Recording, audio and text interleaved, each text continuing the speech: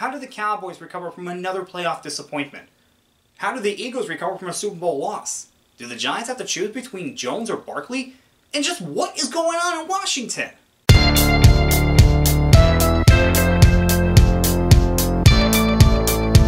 What's going on guys? Diggs Report here, back to you with another video. Last time I took a look at the AFC East, now we're going to take a look at the NFC East. As always, we're going to start with the Cowboys. Yes, the Cowboys suffered yet another disappointing postseason loss against the 49ers, this time in the divisional round. The Cowboys have not made the conference championship in a long time, and that just does not sit well with Jerry Jones. Now, Kellen Moore is out as offensive coordinator, and Mike McCarthy is going to go back to calling plays. We'll see if that changes anything. But they have a bigger issue. Tony Pollard's a free agent, and they owe Ezekiel Elliott a lot of money. They want to keep Pollard. This might be a case where they have to cut Elliott. Pollard was the better running back, but they might lose Pollard anyway. So there could be a realistic chance that this team is going to start fresh at the running back position. Now, maybe Bijan Robinson falls to them at 26 overall. It could happen, but I wouldn't bet on it. So we're just going to have to see what's going to happen with the Cowboys at the running back position. But there's another issue. Anthony Barr, Leighton Vander Esch, Dalton Schultz, and T.Y. Hilton are also free agents. These were contributors on that team. And they have negative seven. They are seven million over the cap. They got to figure out what they're going to do. Now, one thing's for certain Dak Prescott will be the starting quarterback. This Cowboys team still has a lot of questions that need to be answered. Right above the Cowboys in the first round is the Giants. They got the 25th overall pick. But this is a Giants team that won, overachieved last year. They went to the playoffs and won a playoff game against the Vikings. Now, they met their match against the Eagles, but it does look like the future is bright in New York, especially with 46 million in cap space. Now that could be enough for them to re-sign both Daniel Jones and Saquon Barkley.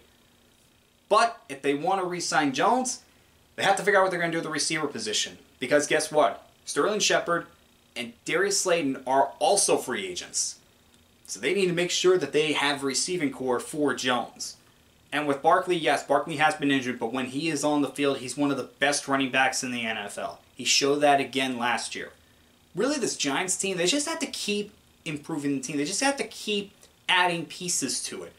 And with 46 million in cap space, they'll have a chance to do that. This Giants team is a team that's on the rise right now, and hopefully it's going to continue. The Eagles may be coming on Super Bowl appearance. However, they have big time questions this offseason. Let me put to you this way. Javon Hargrave, Fletcher Cox, Brandon Graham, Robert Quinn. Those are just the big free agents on the defensive line. You also have C.J. Gardner-Johnson and James Bradberry, T.J. Edwards and Miles Sanders, and others that I can't even think of right now. So many guys that are free agents that helped this team get to a Super Bowl. By the way, they only have six million in cap space. One more thing, they picked 30th overall in the first round because of the Super Bowl loss. Big time decisions need to be made, and that doesn't even take into account the fact that they need to get Jalen Hurts a contract extension after the season that he had and the fact they don't have a fifth year option because he was a second round pick, not a first round pick. It's a big offseason right now for the Eagles, and it's going to be a big road ahead to try to repeat as NFC champs and maybe win the Super Bowl next year. Long road ahead, and we'll see if they can pull it off. The Washington Commanders already answered one of their biggest questions this offseason. What were they going to do with Da'Ron Payne? Payne was up for free agency, and he's been one of the best defensive tackles in the NFL since the Commanders drafted him in the first round. And he's coming off his best season as a pro. Well, the Commanders decided to franchise him. Now we'll see if they can get a long term deal done. However, they've also invested a lot in the defensive line already. And they have a question about Chase Young and whether they pick up his fifth year option.